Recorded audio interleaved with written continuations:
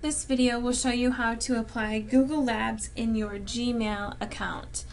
There are some particular little fun things you can download from your Google settings.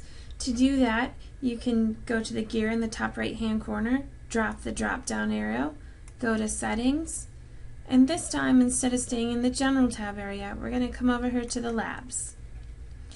I'm not going to go through every lab on the list, but I'm going to show you a couple of my favorites.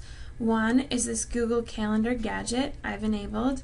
You can see right down here in the bottom left hand corner.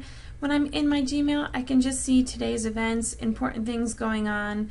Um, I have a Meet the Teacher event at Barrington Elementary School for my son tonight. So I can keep that in the back of my mind that, oh, I have to do this, or the rest of my day's events have already gone past, but if I have a meeting at 11, I can just keep my eye on it throughout the day. Another Google Lab is a preview. Um, anytime you put an attachment in an email, it will show you a little um, icon and a little preview of what is actually in that document. So you can see if you've attached the right thing or you have the right, um, or you can see what other people are sending to you. This is a big one, the undo send. In FirstClass, we have always had the ability to go ahead and click that unsend function that was at the top. We no longer have that ability. In Gmail, you can select this lab. You can then go into the settings and it will either give you 5 seconds, 10 seconds, or 20 seconds. And a little yellow message will be at the top of your screen after you've sent it and it will simply say what you see here, undo. A lot of times right after we've sent an email we realize we, that we misspoke or put the wrong date or forgot to add somebody to the list. So in that case you would be able to click on undo send and the email would go back into your inbox. So that's a great function.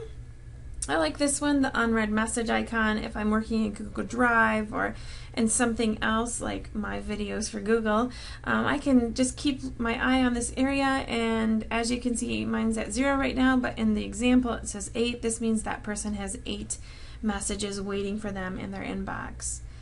Um, the rest of them I'm just going to have you take a peek through. I'm going to warn you about this multiple inboxes. It's having some issues and um, kind of messed up my whole screen so I ended up I ended up disabling this function.